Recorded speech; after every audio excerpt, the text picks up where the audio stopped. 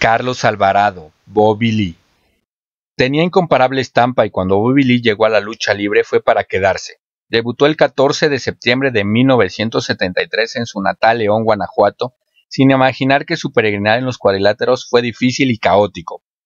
Poco a poco se fue colocando en los grandes carteles y su estilo impactó a propios y extraños, siendo a los cinco años de carrera cuando obtuvo las máscaras de los escorpiones en el Palacio de los Deportes junto con Villano III mismo escenario que fue la tumba de su incógnita que le arrebató el enmascarado de plata el 3 de septiembre de 1978.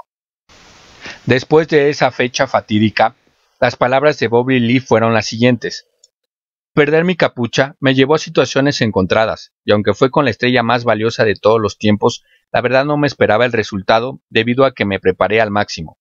Sabía que esa noche podía consagrarme, pero él me venció, ser destapado es un arma de dos filos, te lleva a otro nivel o te hunde, y en mi caso, seguí adelante e incluso revelé el rostro de Fuerza K9 e hice temporada en Japón, Estados Unidos, Centroamérica, y hasta tuve contratos de cine, pero yo no estaba preparado para perder, porque eso es vergonzoso, escalofriante.